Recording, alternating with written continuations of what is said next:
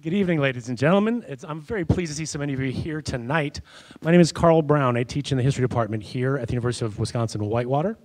And um, let's see, this wouldn't be, it wouldn't be right to start this talk any other way than in, in the immortal words of Ronald Reagan, we're bombing Russia in five minutes. Mm. Sorry, Cold War joke, you had to be there. I got it, I got it. Thank you, thank you, Jeff. Um, I just have a couple of uh, things I'd like to say before we get started tonight. Um, first off, this talk has been sponsored by the Tommy Thompson Center, um, and uh, just a few words on them. Um, as you know, the Thompson Center was established to follow in the footsteps of Governor Tommy Thompson, who worked with colleagues on both sides of the aisle to advance the public good.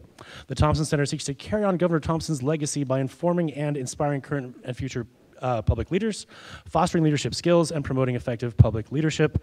They work to further these goals by offering public events, such as the one tonight, uh, funding research and scholarships, and various other uh, projects. All of their events are always free and open to the public. For academics in the audience, they, are, uh, they uh, provide funding for both research and for talks like this. The deadline for that is May 9th, sorry, May 19th, so you'll want to get planning on those if you haven't started already. Um, I owe some thanks to a number of people who've helped me put together this event, most notably uh, Nick, Eric, and the other guys working in the, uh, the techn technological side of it. Let's give them a hand right now. Yeah. um, let's see, Morgan and Lucas in event planning. They're the ones who are responsible for the buffet. Some of us were at earlier tonight as well. Um, Colin Bolchin, put your hand up for a second. Thank you. Colin's the president of Phi Alpha Theta, and he has been instrumental in helping put this together. Give him a big round of applause. Moreover, those of you who are here for extra credit for a class that your prof told you to sign in, he's got the sign-in sheet, so you'll have to talk with him after the lecture. You have to stay for the whole thing, and then he'll help you get extra credit that way. Um, let's see. So, with all that out of the way, let me introduce Dr. Jeffrey Engel, um, who is a noteworthy uh, figure. I could talk for hours about him, but I'm going to try and keep this short. Um, he's the founding director of the Center for Presidential History at Southern Methodist University at Southern Methodist University. Um, he's a graduate of uh, first Cornell and then a master's and PhD from University of Wisconsin-Madison. He's also studied, um, um, held a postdoc at Yale and also studied at Oxford. So uh, the author of, sorry, the author editor of more than a dozen books. Um, he's currently working on um, two projects in particular. Those are um, the 1992 Race for the White House That Defined Our Lives, titled Thinking About Tomorrow, and also a text called Seeking Monsters to Destroy How Americans Go to War. Uh, this, of course, is mundane to our uh, conversation tonight uh, about the new Cold War between the US and, the, and, Russia. What went wrong? Here to answer that question, ladies and gentlemen, is Dr. Jeffrey Engel.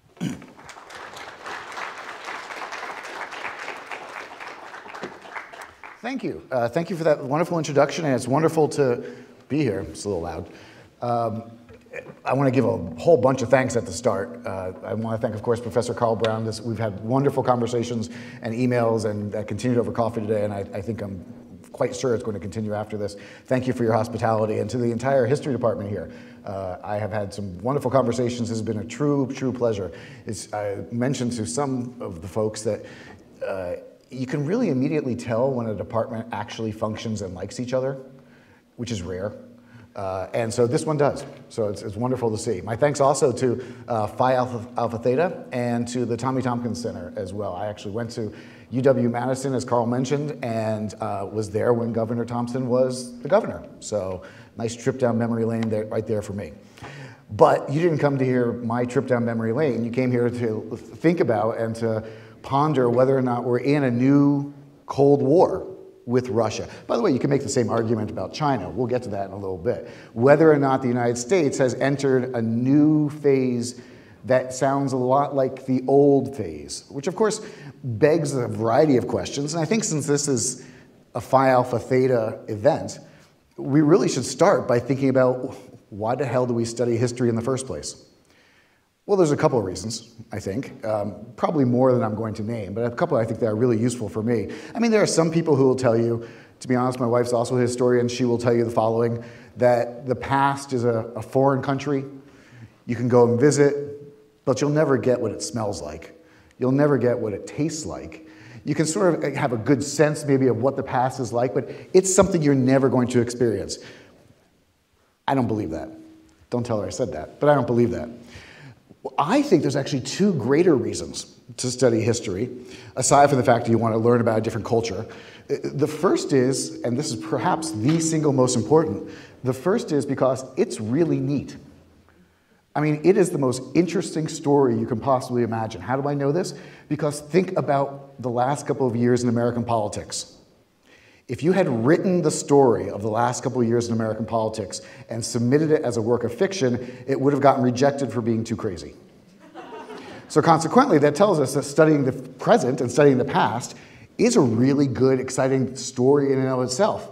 But there's another reason, which I think is probably what drew you here tonight, which is, of course, the idea that by studying the past, by thinking about comparisons for what people suffered through, what people thought through, what people decided good and bad, in the past, that can hopefully inform and help us understand the present and make better predictions about the future.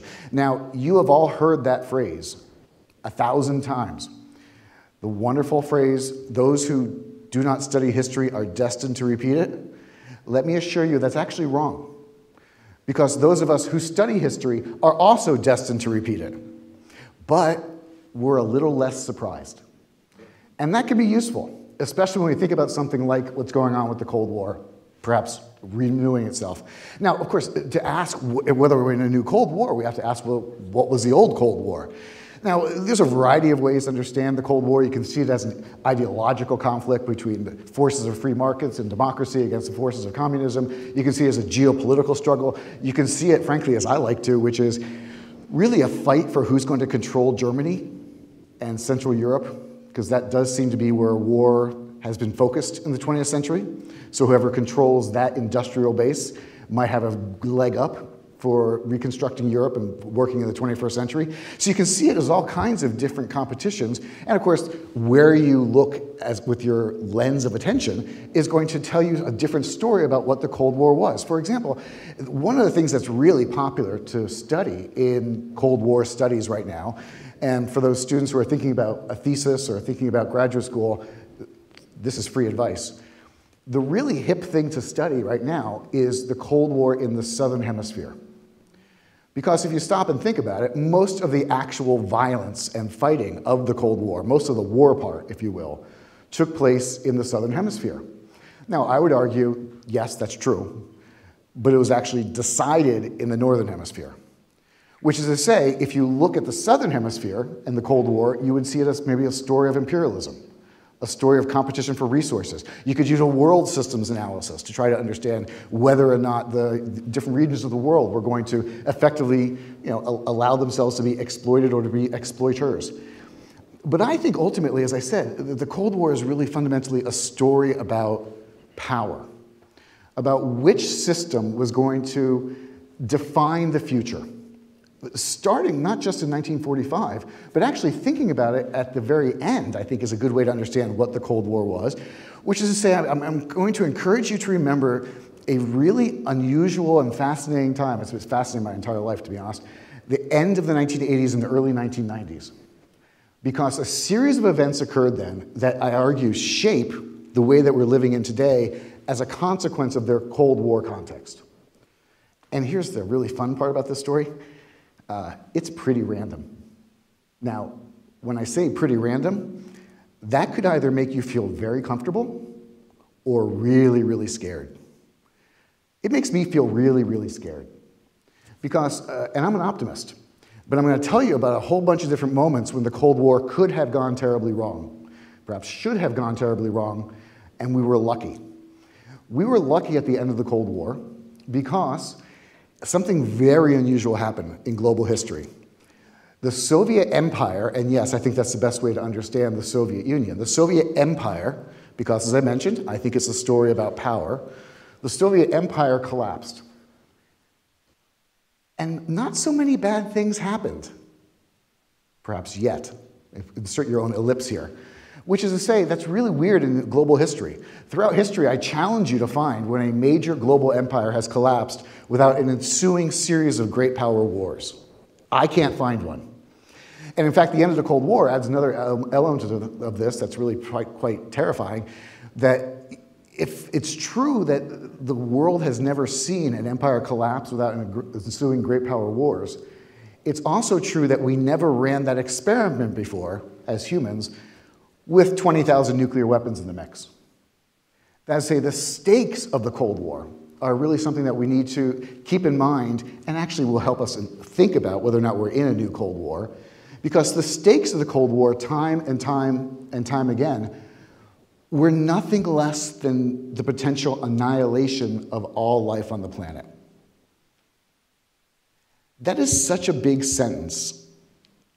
I think we have to pause to wrap our minds around it because it's not hyperbole. This is a series of conflicts potentially that would end all life, but it didn't.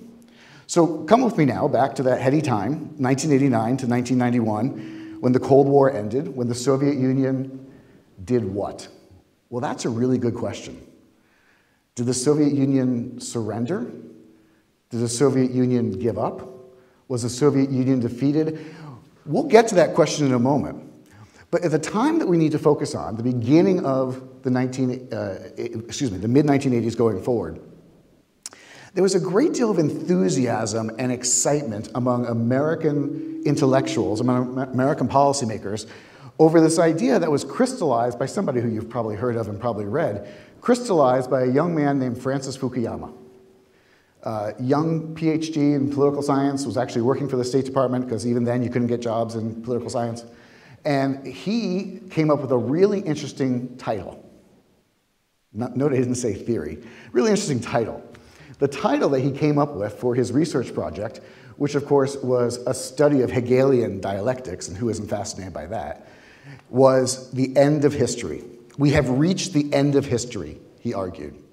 There's a lesson here, by the way, because this is now, by far, his work, when it came out first as an article and then subsequently as a book, the best selling book on Hegelian dialectics ever.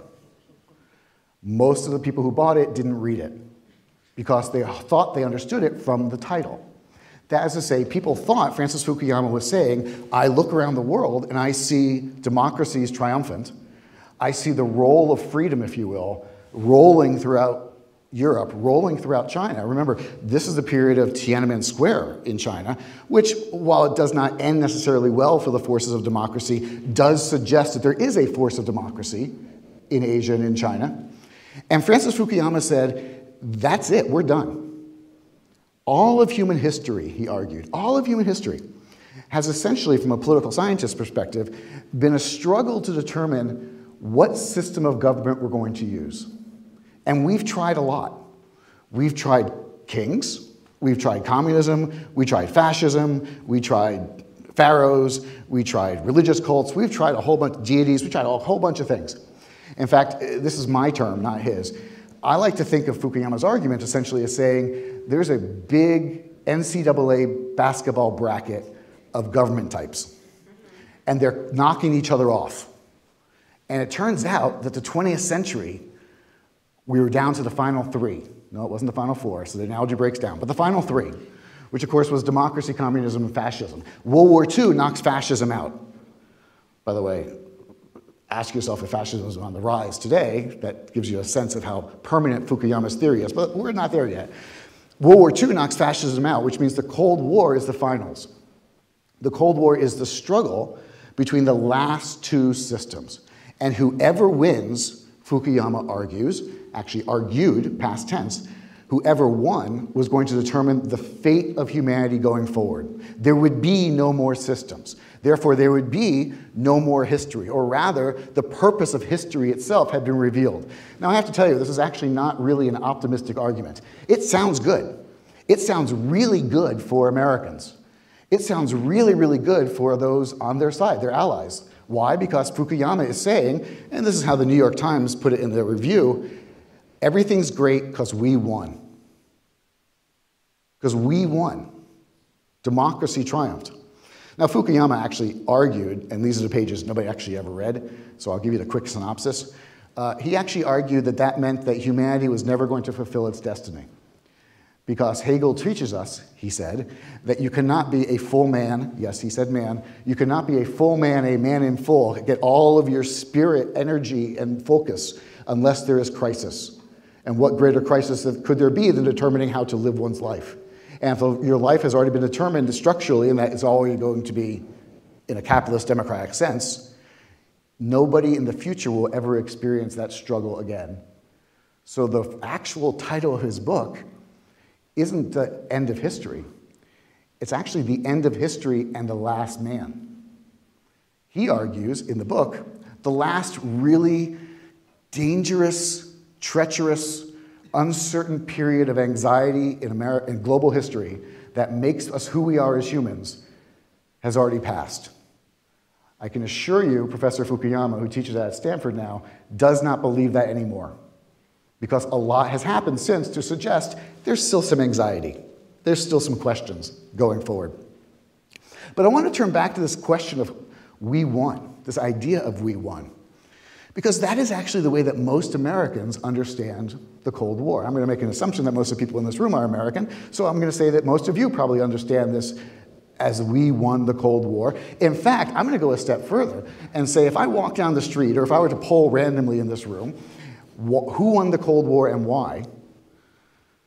Well, nowadays most people wouldn't give an answer at all. But if they did, they would probably say something along the lines of, well, Ronald Reagan won the Cold War. And how did Reagan win the Cold War? You might ask. Second question. By outspending the Soviets. Here's the narrative that Americans believed at the time, and Americans continue to believe, I think, going forward. That the Cold War had been going on, obviously, since the late 1940s. It had become a permanent fixture of the international system. That is to say, people talked about how to perhaps improve superpower relations, but nobody thought that we were going to change the basic dynamic of two sides competing for global power and global hegemony. And consequently, uh, Ronald Reagan did something really radical when he took office in 1981. And by the way, it's, it's interesting to remember that Ronald Reagan really was a radical. Um, uh, both parties feared Reagan because he was way too conservative for most Republicans and not a Democrat for most Democrats. So he was a radical thinker. And one of the things that he argued was that we should change the system. We should change the fundamental dynamic, which has been built and premised entirely on fear, which is to say, how has the Cold War not actually produced a hot war, at least in the Northern Hemisphere, at least in a place that perhaps matters, like Europe, how has it not produced a hot war since 1945 when the history of the world suggests, from the American perspective, that every 20 years or so, at least in the 20th century, the world goes to war and we have to solve the problem. I mean, I think that's the way American history is typically taught to students uh, in our country. There's a little bit of truth to it. If you think about the 20th century, we were fine living on our own. That's not actually true, but this is the way American history is taught.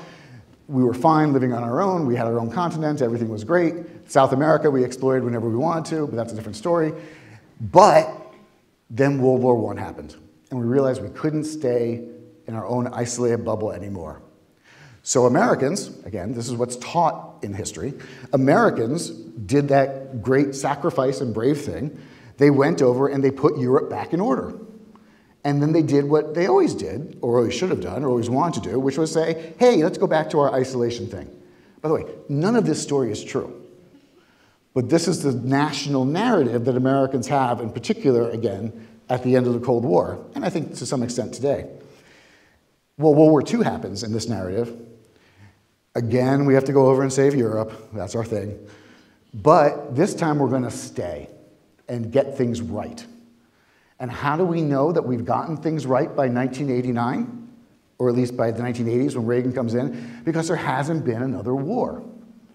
And Reagan says American presence in the world, therefore, is a promotion of stability, but it's a promotion of stability built through fear, which is to say, what's really kept war from happening, he argues, is the fact that those 20,000 nuclear weapons are out there and are really scary. Because if you're basically premising your entire defense not on defense, but rather on the idea that you can annihilate the other person too, that's not a really comfortable Christian thought from Reagan's perspective. Now, he winds up taking this idea in a whole bunch of different variety of directions. Um, the most famous, of course, is the Strategic Defense Initiative, aka Star Wars, which was an idea that sounds nice and actually sounds a little bit more plausible today than it was back then. The idea that you could somehow create a system, a shield, a cover, mostly in space, mostly using lasers, because Star Wars, mostly using lasers to shoot down incoming missiles and therefore protect the American people. And Reagan actually, and I think he was actually quite honest about this, said, after we develop this, we're going to give it to everyone. We're going to give the technology away. We're going to give it to the Soviets so that everyone can live without the fear of nuclear annihilation. And that sounds nice. And I got to tell you, Reagan's an interesting cat. Uh, there are two presidents I do not understand at all. And in fact, the more I study them, the less I understand them. The first is Franklin Roosevelt. Apparently, that's a, that's a popular view of Franklin Roosevelt. Because Franklin Roosevelt, of course, was an enigma in and of himself. That is to say, he was more a chameleon than anything else. He had such a wonderful personality that he could make everyone that he talked to think that he was agreeing with them, whether he was actually saying anything or not. Which means finding out what he actually thought is really, really hard because you can't trust anything he said. That's president number one. President number two for me is Ronald Reagan. I don't want to get into a fight about Ronald Reagan. I'm less impressed by Ronald Reagan than others. Because I think a lot of the ideas that Reagan offered were wonderfully simplistic. We should get rid of nuclear weapons. We should create a, a, a, shield over us. We should, as he put it, to explain the Cold War, transcend it. He said communism is going to end up on the ash heap of history. And my theory of the Cold War, he said, is we win, they lose. By the way, I, I teach a strategy course. Uh, and I tell my students every year that's not a strategy, that's an aspiration. But it's a good line. Now, uh, I come from Texas, not originally, you can tell from the accent, but are you from Texas? So I'm glad we can speak this language. so I presume you're armed. Um, so I come from Texas, and we have a senator you may have heard of called Ted Cruz. Uh, and Ted Cruz loves this line we win, they lose. I think he uses it about three times a day. Uh, he says, My theory of lunch is we win, they lose. My theory of driving home, we win, they lose. Again, it's an aspiration. It's not a strategy, because a strategy gives you some sense of how you're going to get there and what you expect at the end. And Reagan's thought for how you're going to get there, as I mentioned, was we're going to transcend communism by building a shield. We're going to outspend the Soviets, because he thought, you know, communism fundamentally doesn't work. And therefore, we can essentially take a system that's already stressed and stress it more till it collapses. And third, we can call out its moral failings. That's say one of the problems that Reagan had with the idea that the Cold War was a permanent fixture of global society is that it gave an air of legitimacy to what the communists were doing. One of the things the communists were doing that really bothered Ronald Reagan was denying their citizens access to God. He's actually a very spiritual man, though he never went to church. Again, enigma. And Reagan thought that that was more an immoral ab- abomination. So his argument was if we build a shield, if we build a lot of weapons, we can stress them and they will collapse. Now, I go through this discussion of Reagan for a variety of reasons. First, to tell you again that he was a very interesting thinker, and that it's not clear to me that he ever actually thought through what would happen next. That is to say, the problem with we win, they lose is what does the loser do? And we all know there's such a phrase as a good loser and a bad loser. Uh, you just have to watch it one basketball game, and you'll appreciate that. And that some people, some societies take losing better than others. But I just told you, there's never been a society in human history that was an empire that collapsed and took it so well that there wasn't a global war after. Excuse me, a great power war after. And I don't think Reagan ever thought of this. The other thing that's really interesting about Reagan, well, there's a lot of interesting things, but one of the really interesting things uh, is that he lived his life backwards in some ways. A lot of people do this. But Reagan's living his life backwards, which is to say, he made his decisions about where to go forward based upon his own history. His experience informed where he was going to go. One of the difficulties was Reagan was that oftentimes the reality that he called upon as memories was actually from movies he was in. I'll give you two great examples. Uh, the first is, uh, y'all know Reagan was a great speaker. I mean, give guy credit. He could give a speech. He was, a, I mean, he is exactly what a president should look like, right? He's got the square jaw. He's always wearing a nice suit. You know, he, he gives a good talk. And he started explaining, this is about 1983, he started explaining to reporters once that Americans have a spirit that transcends normal countries. We are exceptional. We are God's divine instrument. How do we know this? Because Americans sacrifice for each other, Americans care for each other. He said, We all know that story, that great story of that bomber in World War II flying over the Pacific. The B 17 gets hit. They're going down. The pilot's holding on just long enough for the rest of the crew to bail out. And the co pilot says, I'm stuck. I can't get out. Save yourself. I'll fly the plane. Save yourself. And of course, the pilot looks at him and says, No, Johnny, we'll ride this ride together. And they crashed. It's a good story. Uh, a couple days after he gave this speech, one of the reporters in the White House press room kind of picked their head up and say, Wait a minute. There's only two guys left in the plane, right? And they both died, right? So, how do we know this happened? Well, it was a very nice movie that Reagan was in. Similarly, uh, he was in a movie in which aliens attacked. Why are you laughing? That's a great premise for like every other movie. it wasn't a zombie movie, it was an alien movie. Aliens attacked, and the ways that Americans defended themselves was by building a laser based satellite shield in space to shoot down the enemy coming in before it could attack us. And I would argue this is actually one of the primary reasons that Reagan came up with the idea for SDI. We also know from the evidence that he talked to basically no engineer or scientist before announcing this. Now, you could read this as great leadership. Seriously, because Reagan said, My plan is to outspend the Soviets. I need new ways to get my government, though I'm a conservative, to spend money. I'm going to come up with a fascinating research program which is so long range. I don't, nobody expects we're going to get results for decades. That's great because we're going to funnel money into business and funnel money into universities for decades. And we're going to get a lot of basic science and a lot of good engineering out of it. In fact, you could argue that the internet, in some ways, is born from this spending. That was not Reagan's thought, but you could make that argument. Uh, I'm reminded one point I was discussing this when my own university president was in the, in the room, uh, giving the same basic point.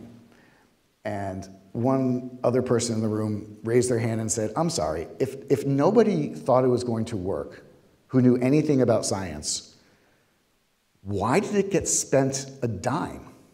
Why did it go forward at all? And I said, Well, Mr. President, he's a good guy. I knew he would enjoy this.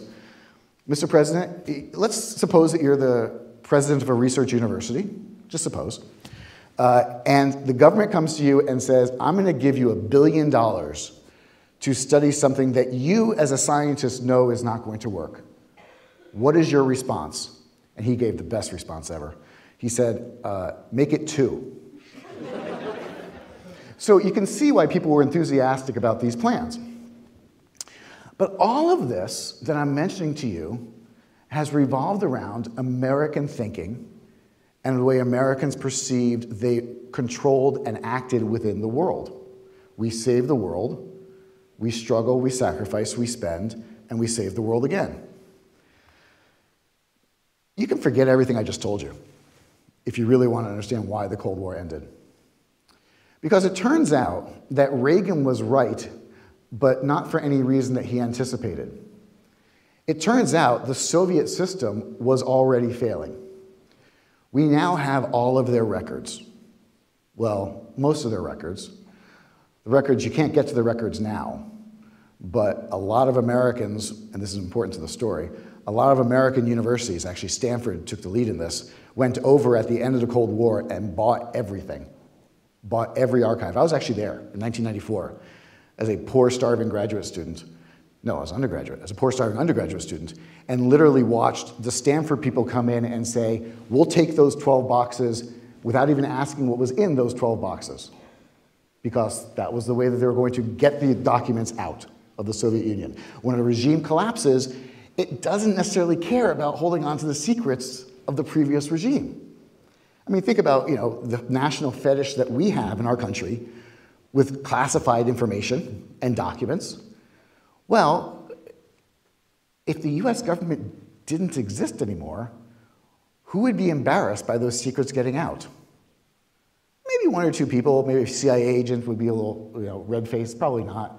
So, my point is that we really know, because we have all the documents, what was going on in Soviet thinking in Soviet circles throughout this, their entire regime, in particular in the 1970s. Because by the mid 1970s, every Soviet policymaker understood on a national level that their system was not working, that the system was broken. They weren't producing any kind of spiritual patriotism for their people. And they weren't producing for their people. That is to say, the standard of living and the life expectancy for Soviet citizens was going down.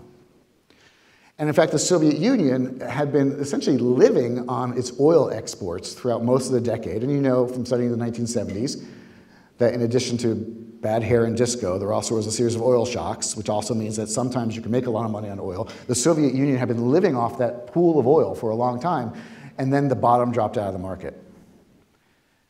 Consequently, it revealed, if you will, as they say, you only find out who's naked when the tide goes out. The Soviet Union was naked. And every policymaker knew this. And we know this not only from the documents, but also from their jokes.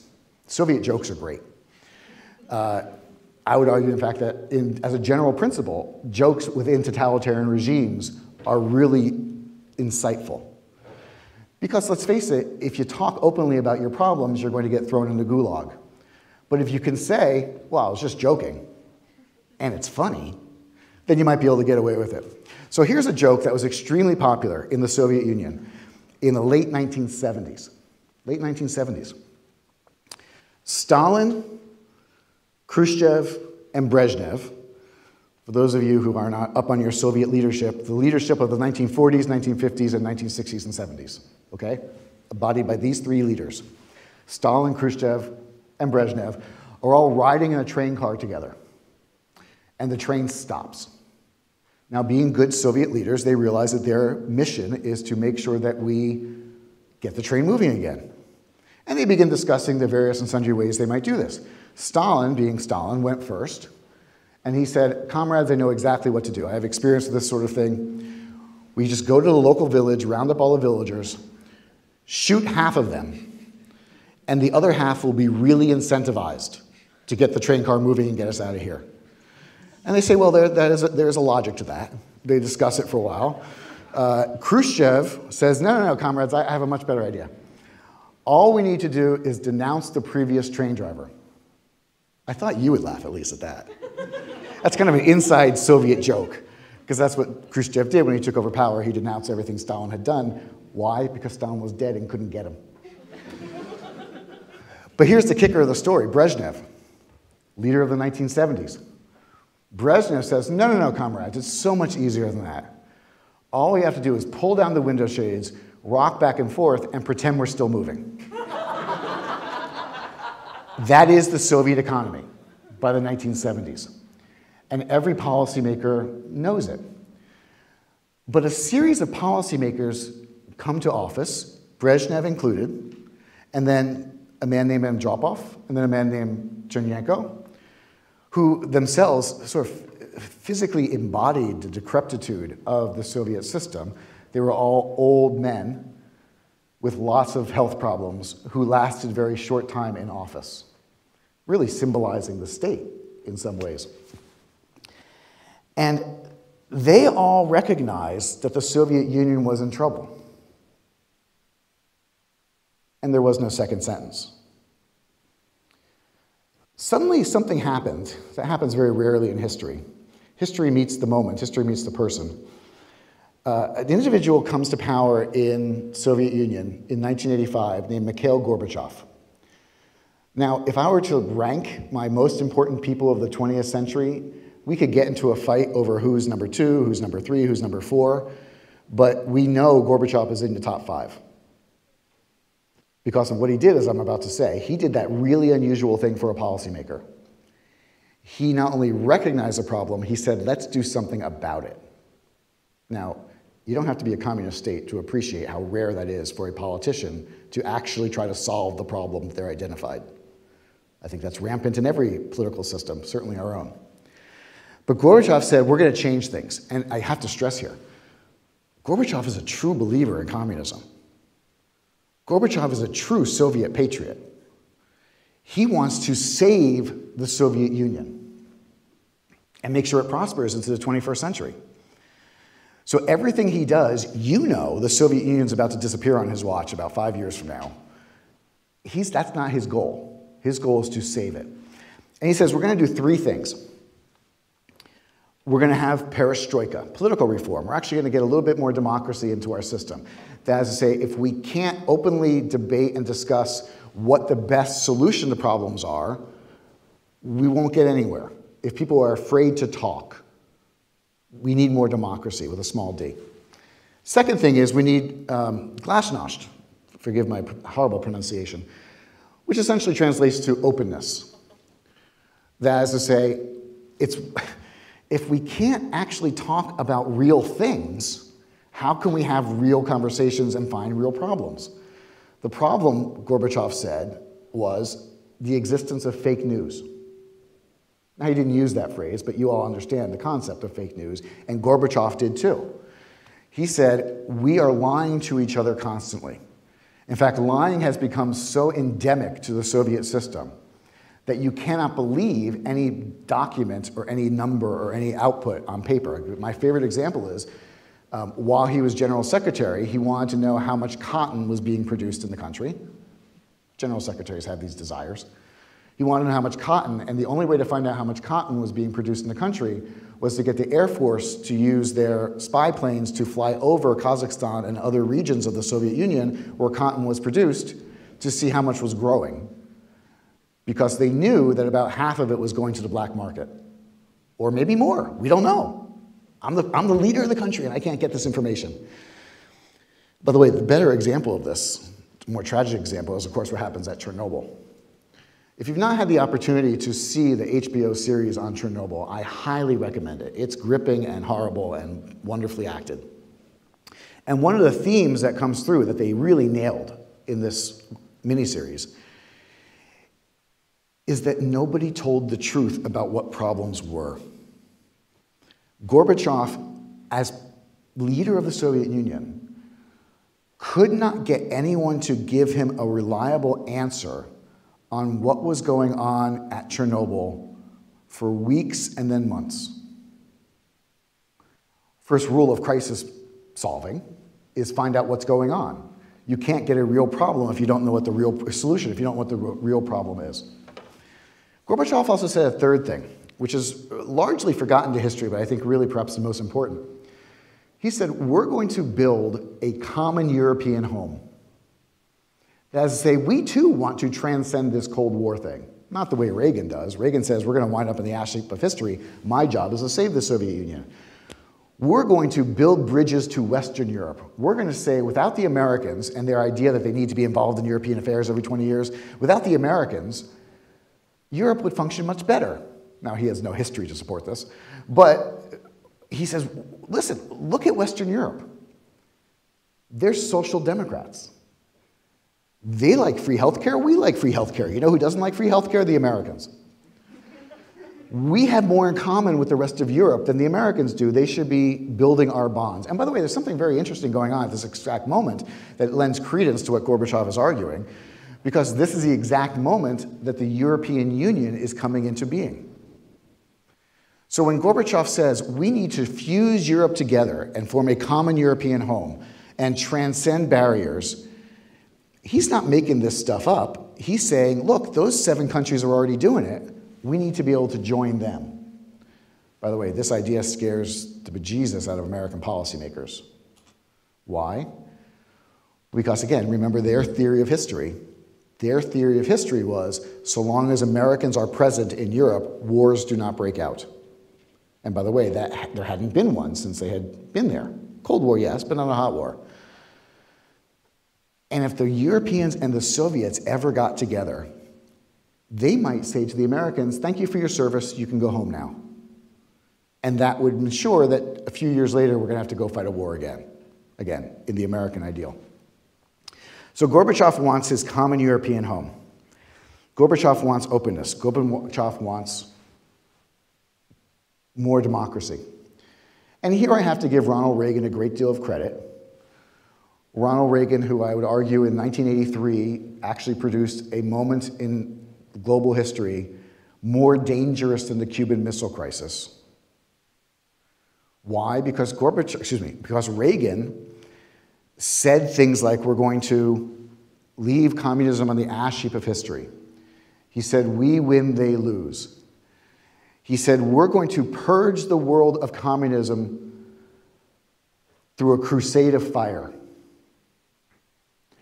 They are an evil empire and they must be expunged from the earth. And a funny thing happened on the way to victory. Um, the Soviet leadership actually believed his words. And there are, in 1983, I can go into detail in the Q&A if you like, a series of nuclear crises that bring the world closer to nuclear annihilation, I would argue, than even the Cuban Missile Crisis. And at several moments, they are averted. In fact, here's one of these moments where we see an individual pop up with randomness. One of the nuclear crises was actually caused when a Soviet uh, radar station, observation station, up near the Arctic Circle, because the missiles from the United States are going to come over the Arctic Circle, that's the shortest route. When a Soviet station suddenly, for no apparent reason, at 4 o'clock in the morning, realizes that they are being about to be bombarded by hundreds of missiles. Now, there's no reason to expect this other than the fact that Reagan had been talking about a crusade of fire. There's nothing particularly going on in the international system other than Reagan saying, we're going to win the Cold War. He does what he's supposed to do, this colonel. He calls the Kremlin, says, uh, Sir, sorry to wake you. We're being attacked. Make a long story short, uh, he then does something really important, which I encourage all of you to do as a life lesson. In fact, you probably already know what he did because you've used computers too. What do you do when your computer's not working? You turn it off and you turn it on again.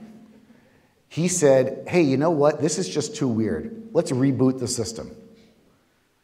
And when he reboots the system, it becomes very clear that this was a computer malfunction, and it turns out that was actually just a very large flock of geese. but here's the important thing about the story the people in the Kremlin were about this close to pushing the button that would launch the retaliatory strike, because that's the way the Cold War was designed to work. In normal circumstances throughout the Cold War, Soviet leaders, having no particular reason to think we're going to be attacked on a Tuesday, would not have reacted that way. They would have thought about it a bit more.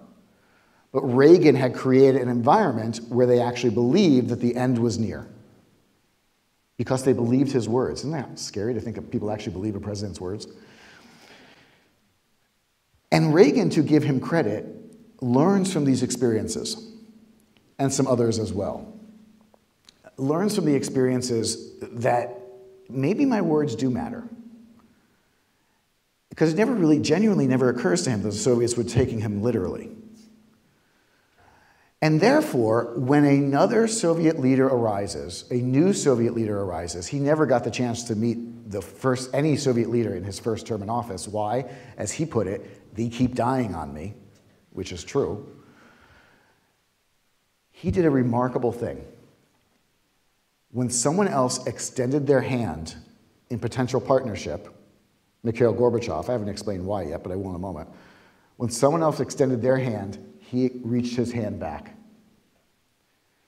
Say what you will about Reagan, as you can tell already, I don't have a lot of great things to say about Reagan. I give him tremendous credit for learning in office and for being willing to change everything he believed when the opportunity arose. He reached across the aisle and met Gorbachev. And Gorbachev was trying to save the Soviet Union. How? Yes, through democracy, openness, and a common European home, but also by doing things like restructuring the economy, not spending money on armaments.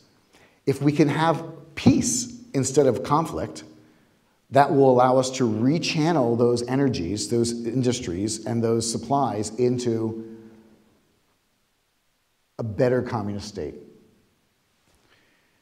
And to be honest, it works out pretty well uh, until it doesn't. Which is to say, the problem that Gorbachev faced that he could never solve was that the transition he was talking about was really hard. I mean, really hard. No one had ever tried it before, transforming an entire empire from one ideological system to another. Which meant that before things started to get better, they got worse. And I mean really worse.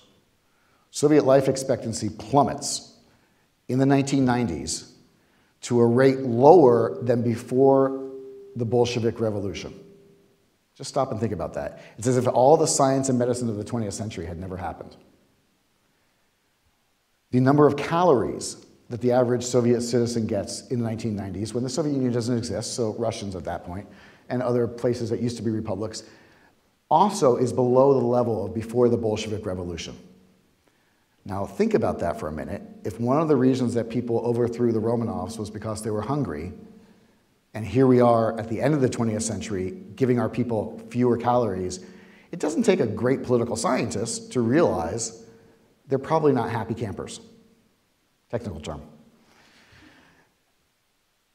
Which is why, as the 1980s turned into the 1990s, as Eastern Europeans begin to take advantage of the openness and perestroika that Gorbachev offered and found their own way to communism, which in some cases meant eliminating communism. the same thing happened in the Soviet Union, and centrifugal forces ripped apart the system, leaving the Soviet Union on the ash heap of history and replacing it with a Russian empire.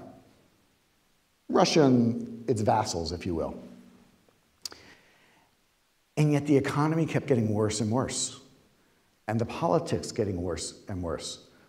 The man who came in after Gorbachev, a man named Boris Yeltsin, um, just to give you a sense of how he was a true Democrat, small d, uh, when he disagreed with the parliament, he was the president, he rolled the tanks up and shot the parliament. That's your democratic leader in Russia. I want to tell you a personal anecdote about this, actually. I was there in 1994. Um, I looked nothing like I look today. Um, I was hoping that would get a bigger laugh. Uh, which is to say, when I was there in 1994 as an undergraduate, there was no food in the city, so I lost about 30 pounds. I was living in a place where I didn't have a mattress, I had roaches on top of a mattress. When I got off the plane to get home, my mother literally burst out into tears because I was completely covered with roach bites. In case you're wondering, and I'm sure you're concerned about my health, uh, I'm actually allergic to roaches now. And what's really interesting about that is when I went and did a standard allergy test, because you know everybody in Texas has allergies, the doctor said, we got this weird result you're allergic to roaches, but the only people we ever see allergic to roaches are underprivileged inner city kids. Because you got to spend a lot of time with roaches to become allergic to roaches. And I said, Oh, I've got a story for you. Uh, I also uh, wasn't bathing that often because there wasn't hot water, or any water really. Uh, I wasn't shaving because I'm you know, 20 years old and I thought that'd be cool. Uh, and I was wearing the same shirt every day for two weeks because I couldn't get, a, get any clothes washed. So you've got a picture of what I look like, okay? And I wanted to call home. Now, those in the room who are not familiar with the 20th century as a personal experience, phones used to not move. If you wanted to make a phone call, you had to go to where the phone was. And in, here's the other thing certain phone lines did not go to every place you wanted to talk to.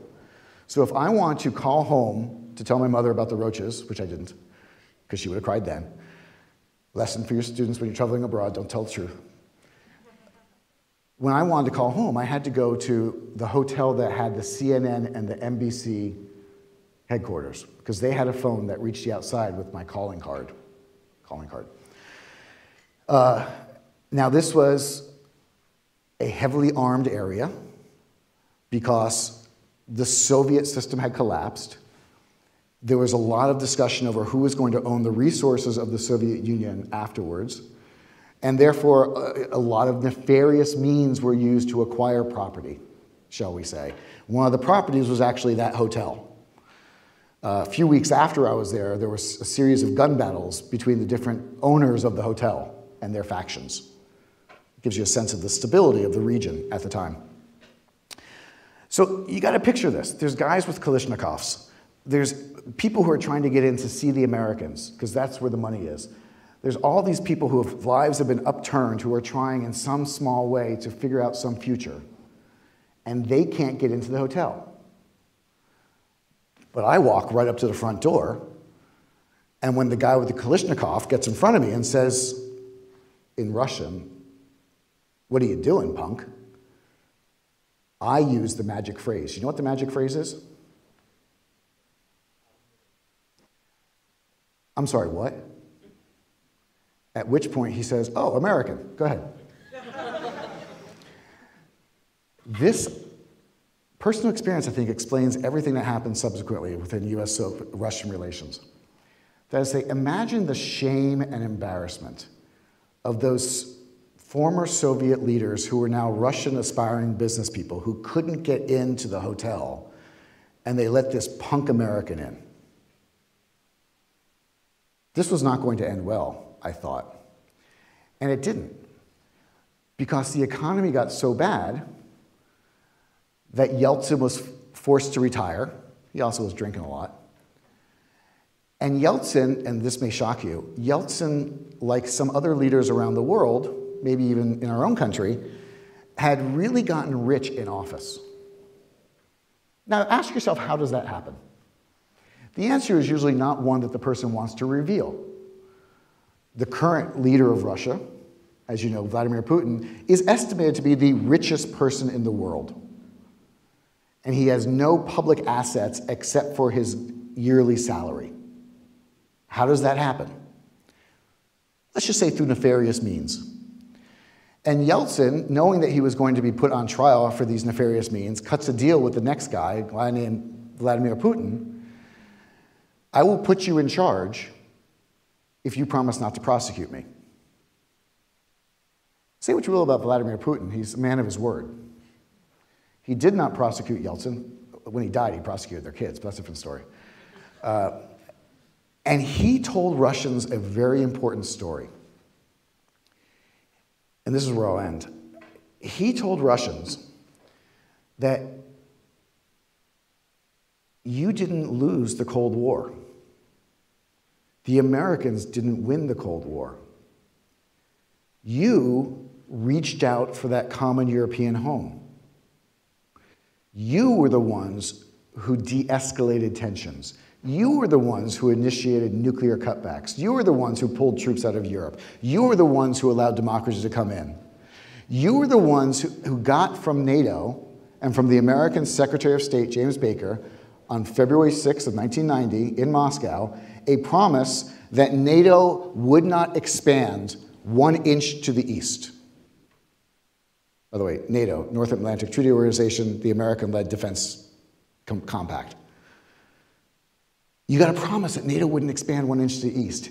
And Yeltsin, excuse me, um, Putin, was able to, for the last generation, say, everything you were promised, the Americans lied about. The economy only got good when we reasserted price controls under a strong leader, i.e., me. You only started feeling good about yourselves once you started listening to true Russian values. Got to get rid of all those Western influences, homosexuality in particular. He really doesn't like that one. And lastly, uh, the world only respects you when you're strong. How do we know this? Because when we were weak, the Americans broke their promise and moved NATO not just a few inches to the east, but all the way up to our border. In fact, he then essentially drew the line in the sand at a place you've probably heard of recently called Ukraine. Used to be part of the Soviet Union. Used to be a nuclear weapons state as well, but they gave them up at the end of the Cold War with the promise that other countries would protect their security. How'd that work out? And consequently, uh, Putin draws a line. And here's what's really important. Here's the thing I want you to think about when we think about a new Cold War.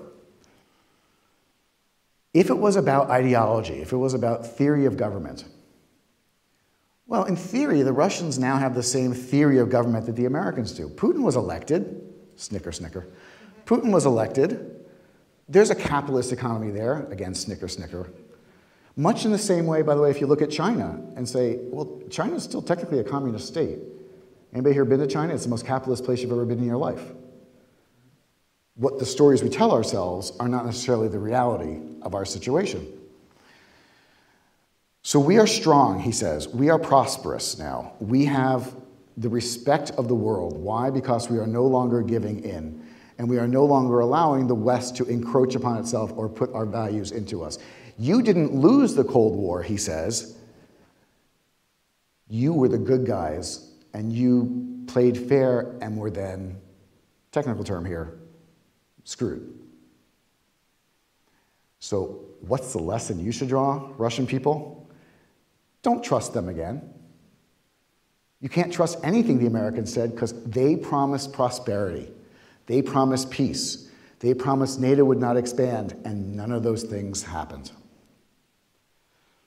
One lesson to be drawn here is, uh, again, by comparing the Soviet Union to China.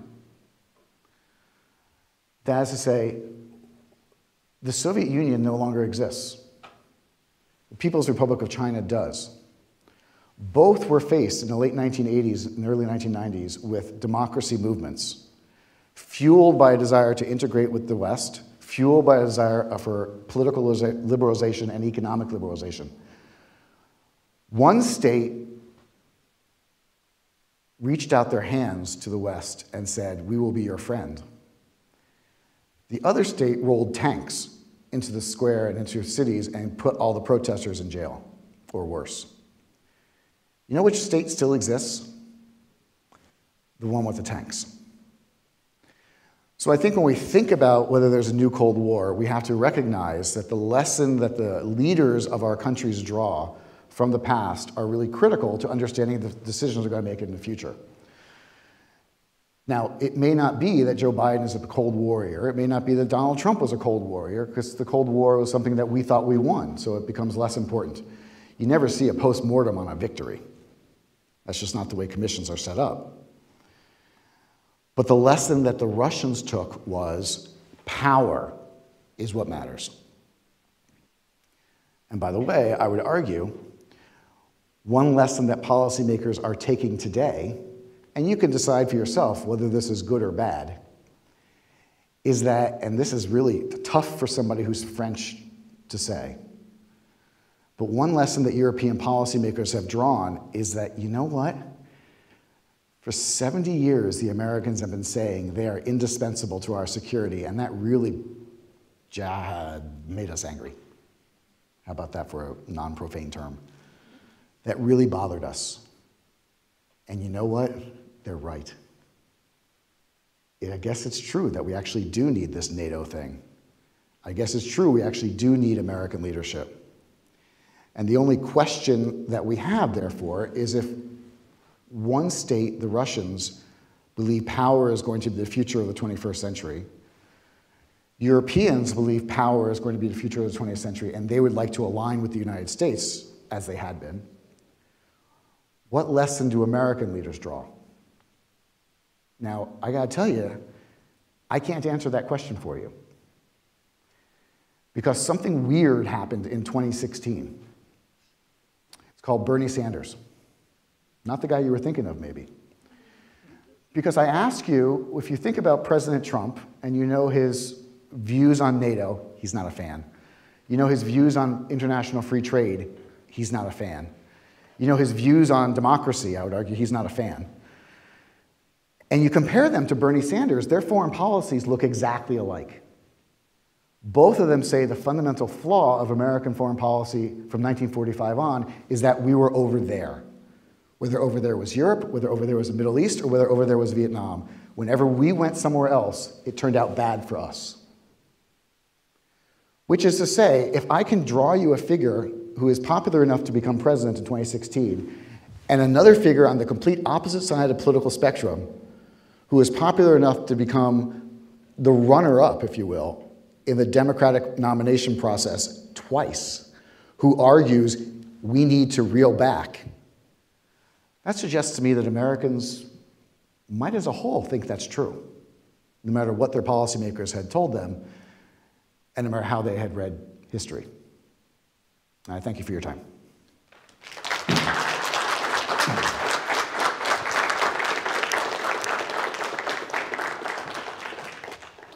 Oh, that's great. Uh, again, Jeff, thanks so much. That was uh, informative and interesting.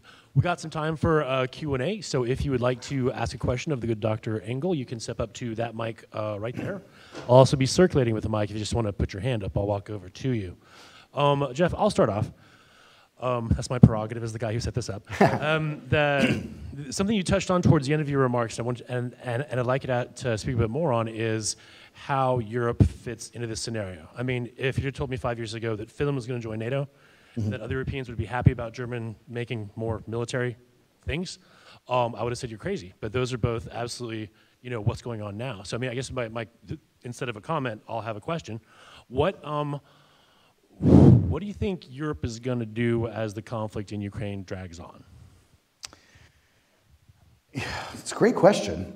Um, and I think, just to reinforce your point, if you had asked us what do we think Europe is going to do a year ago, a year and a month, when the Russians were thinking about invading, and the Americans kept saying they're going to invade, they're going to invade, and every European capital said no, they're not. What the Europeans have done, which is to ramp up their arms production and throw resources in a way that they never thought possible into a military conflict lest you get drawn in yourself. Nobody would have believed you. So I think that Europeans are largely going to follow the American lead in the short term and bizarrely enough in the long term. The middle term is what worries me. The long term, I think, is that Europeans have realized that it's better to hitch your wagon to the Americans. Even if they're a somewhat declining power, they're still the ones that you'd rather be with. We don't have enough strength to do it alone, by the way, not least because the European Union is fraying. Have you noticed England's no longer in it? And in the long term, so I think the long term they know they need the United States. In the short term, they know they need the United States because they don't have the armaments to supply Ukraine the way like we do. The medium term is how does the war in Ukraine end? I have no answer for that question because, uh, in a sense, the Ukrainians have done too well. I say, remember, every war at the end of the day is negotiated. Sometimes it's negotiated more violently than others. Sometimes you have unconditional surrender, though that's actually pretty rare in history. Most wars are actually decided at the peace talks based upon events on the battlefield. We know that the Russians want all of Ukraine, and we know that they do not necessarily have democratic impulses guiding their foreign policy. But the Ukrainians, if you had told them you know, a year ago that they were going to have a fundamental policy argument over do we win versus do we survive? They would have been thrilled with that question. Because the debate in Ukrainian circles at the beginning of the war was A, are we going to live? And B, how much land are we going to lose? Now, Volodymyr Zelensky and other Ukrainian leaders, and remember they're democratically elected too, have essentially unified around a position that the war will not end until we get all of our land back, including Crimea, which we had already given up for all intents and purposes. So when the war currently going on drags on for year two, year three, year four, year five, that's, I think, a place where we could see European and American tensions split because the Europeans, frankly, have done a really good job of integrating a lot of refugees, done a really good job of remodeling their economies, but they can only do that for so long. Whereas the United States is removed and has its own problems. So short term, okay, long term, okay, medium term, worry. Sure. Um, is that working? Yep, I think so. So my question is this: so obviously, understanding that Vladimir Putin is someone who came from, you know, a very Soviet background. He was a KGB agent. It was a very formative time in his life. Um, part of his goal, I think it's fair to say, would have been, you know, taking Ukraine seemed like a fairly easy target. I don't think he thought that NATO would ever want to be involved in that. And it would be quick and easy, and it would be a good way to, you know, flex that power that you've talked so much about. That didn't work. It wasn't a blitzkrieg attack on Poland, for lack of, you know, a better comparison, perhaps. So, what in his mind do you think, you know, understanding the lessons of his predecessors, how does this end for him? I mean, I don't think he wants nuclear war.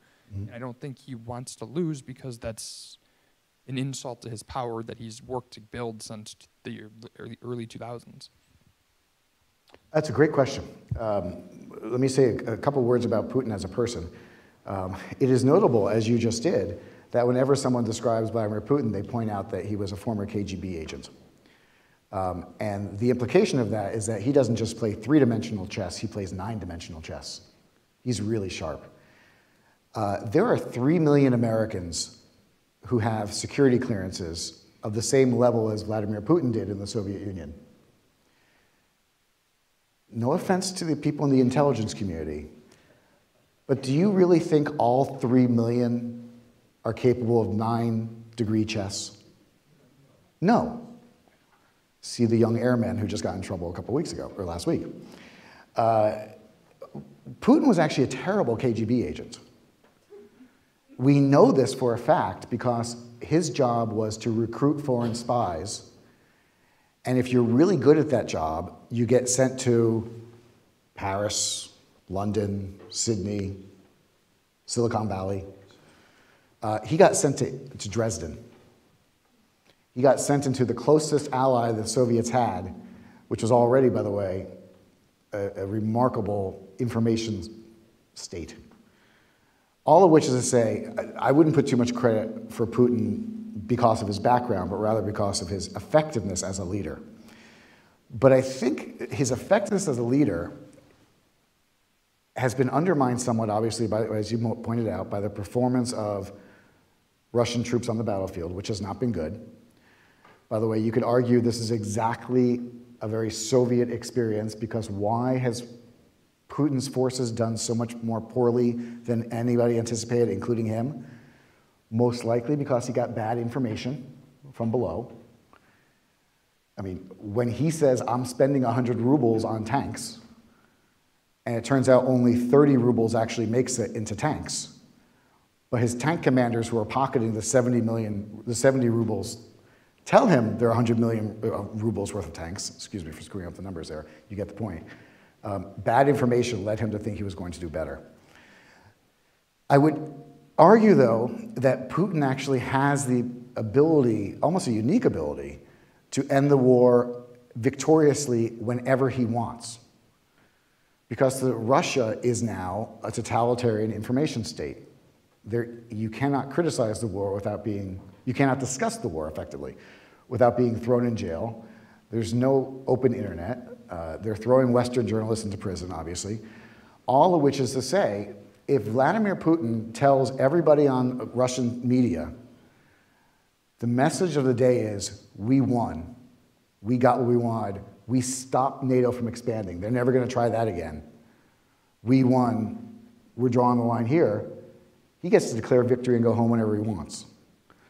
So I think that's the, the solution for Putin is to recognize that uh, whenever he tires of this, he doesn't just end the war, he wins the war. Sir. Um, now that like a lot of the documents from like the Cold War era have been declassified, we can kind of see that a pretty solid chunk of the uh, information that the CIA got from Russia during the Reagan presidency was um, like mostly misinformation. So do you think that like uh, like the since the Reagan presidency and the information on Russia was some of it was uh, misinformed, do you think if it wasn't like that, uh, the fall of the Soviet Union would have come a little more quickly or been a little more peaceful? Well, first of all, I would say the fall of the Soviet Union was actually remarkably peaceful. Um, the only place we actually see violence on the streets break out is in Romania. Everywhere else, the collapse was incredibly peaceful to the point where I think we were incredibly lucky. That's a different lecture. Uh,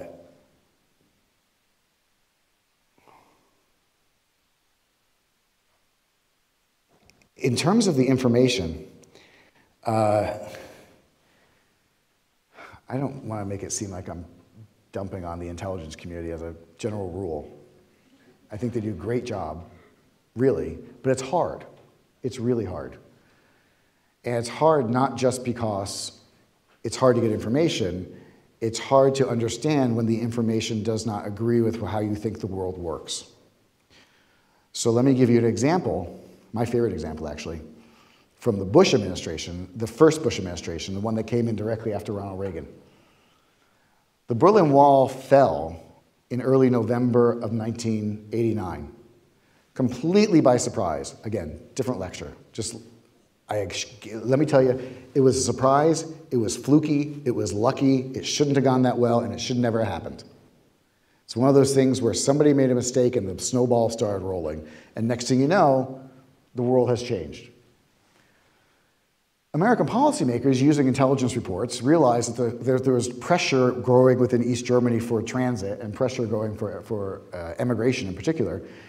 And so the Bush administration, I love this, the Bush administration at the NSC level, National Security Council, people who work in the White House on national security, in late October, passed around a memo, talk about action, passed around a memo that said effectively, we think something's going to happen in Eastern Europe, or excuse me, East Germany.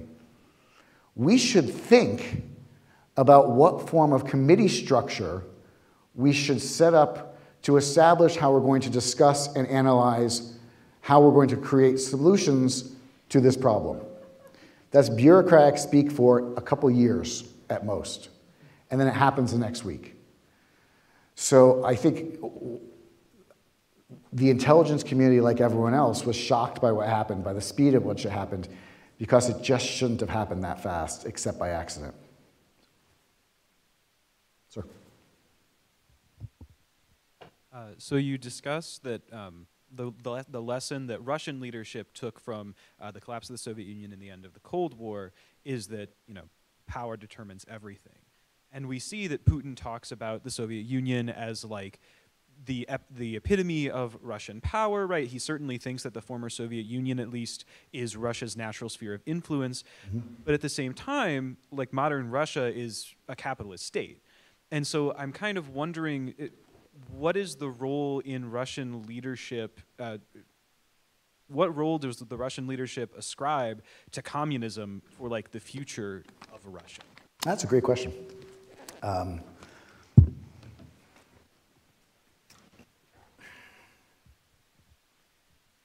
First rule of Russia, maybe the first rule of anywhere, but certainly of Russia, is if you're looking for internal ideological consistency, you're, you're not going to find it. Um, this is why, on the Western side, you could make a whole career out of trying to figure out what the Soviets were saying because they were constantly trying to figure out what they meant. Say what you will about American policymakers, they typically have a good sense of how their system actually works, for good and for ill. So, more important than communism from Putin's perspective is nationalism. So, his fundamental argument, I think, and this is a very powerful one throughout uh, many countries in the world, is that you, Russian citizen, are a cog in a bigger machine that has divine purpose and global meaning. So, your particular sacrifice, if you don't do well in the market or if you don't do well on the battlefield, is in service, if you will, of greater Mother Russia. Which, of course, we have to remember is the exact rhetoric that was used in World War II to rally the Russian people to defeat the Germans. Soviets in World War II, by and large, you can find some, some examples, but by and large, were not inspired to save the Soviet Union, and they certainly were not inspired to save communism. They were inspired to protect their homeland. And I think that's what Putin's going to draw on going forward. So he is less bothered by the fact that there's inconsistencies in the fact that he celebrates an economic system that he doesn't practice because he's actually drawing a broader lesson, which is the real goal of the Soviet Union was to provide a safe space, an empire for the Russian people. And that's what he's promising. So uh, I think at the end, talking about Sanders and Trump, you really showed a great example of the political horseshoe and how they very much have similar ideas regarding almost a similar end to a U.S. interventionism and then the America First mentality. Do you think such policy is possible in our current globalized society? And if it is, do you think it would actually work or only cause more problems globally? Okay, um, let me, that's a, let me break that down. uh, do I think it's possible? That is to say, do I think it's possible that a person could become president and we have an imperial presidency and have for a full century and a half, and the president is primarily in charge of determining US foreign policy. So, do I think it's possible that we could have an American president get into office with an American first agenda?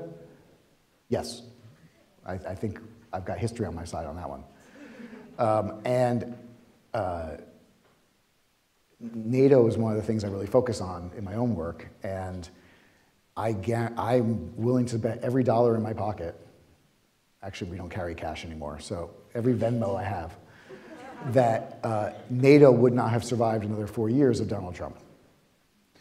So, is it possible that there could be political will in this country to remove the United States from the foundational military alliance that it created 75 years ago? Yes. Now, the second part of the question what would happen? Uh, you know, I actually believe that there is more than a germ of truth to the observation that when Americans are engaged in the international system, they're not perfect we make mistakes. The invasion of Iraq in 2003 was literally the worst strategic decision in US history. And by the way, obvious from the get go. But our hearts are in the right place. And I think if Americans retreat from the international system fully, you're going to see a reversion of the 1920s and 1930s where strategic interests begin to form economic blocs begin to form rivalries, and I don't like where that goes. So uh, this is difficult because I'm not a big fan of foreign wars either. I'm not suggesting we need to be interventionist. But I do think that the world does need a leader. And frankly, I am more comfortable living in an American led world than in a Chinese led world or in a Russian led world. By the way, it's important to note Chinese have no interest in leading the world. Only the Americans and the British before them had this crazy idea that our system should be universal. Chinese are perfectly happy saying, let's do what's good for China. And why would we ask anything else? I mean, the idea of a China first narrative in China is laughable because there is nothing else. You know, the, when Donald Trump stands up and says America first, he has to then explain what that means. You don't need that conversation if you're in the Chinese leadership. So uh, I would be very worried for the future of my children if the United States fully ejected itself from the international system.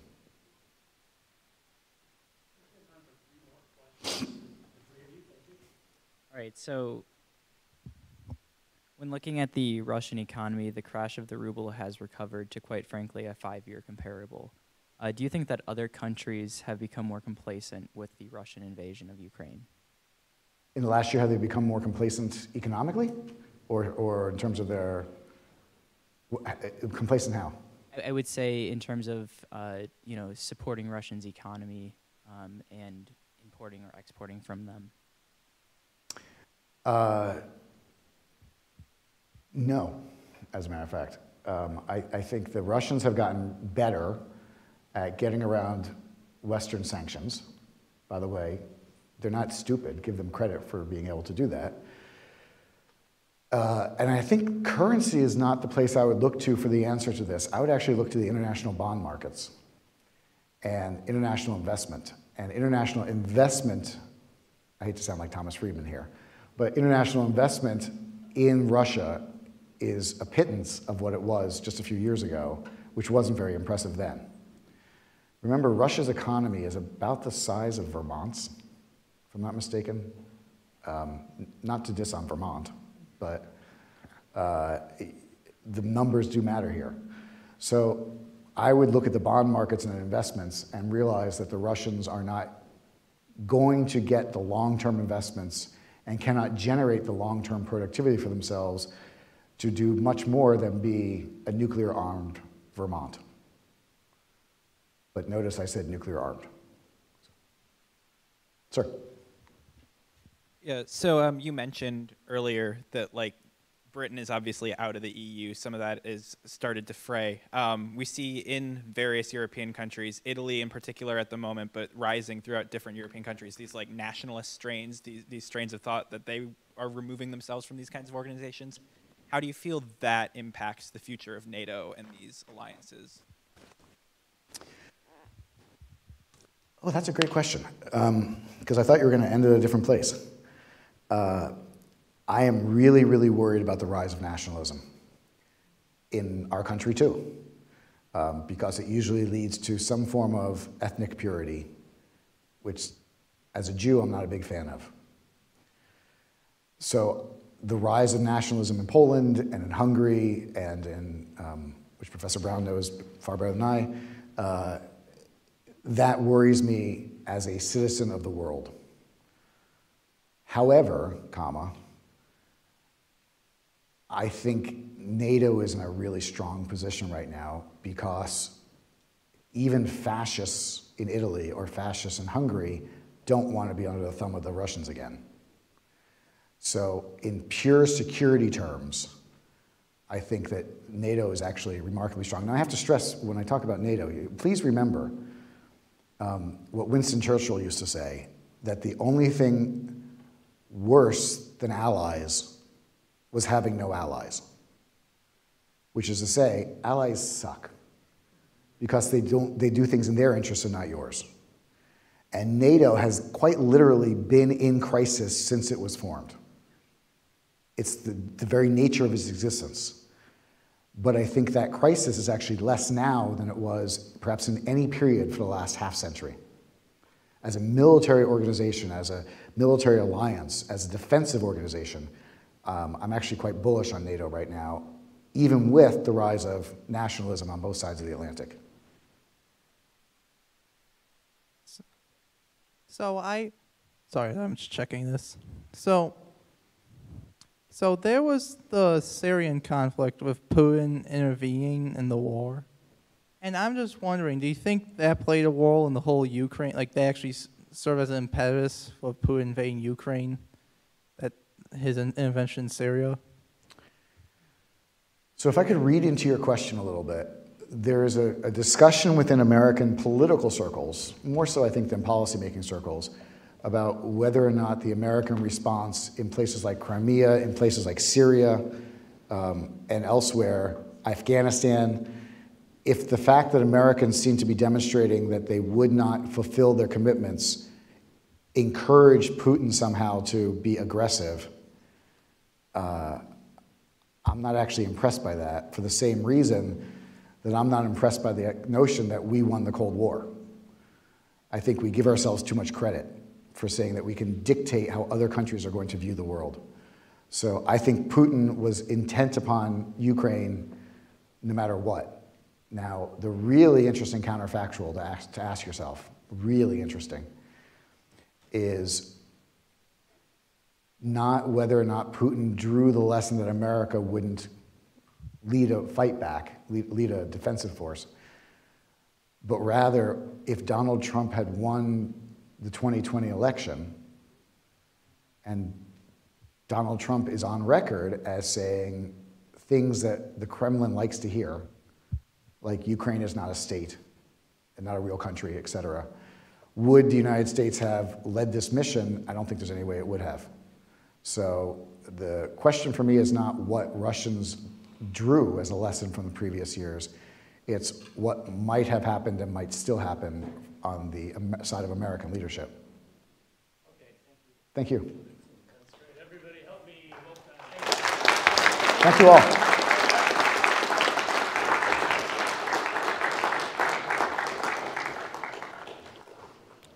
I look forward to your papers tomorrow.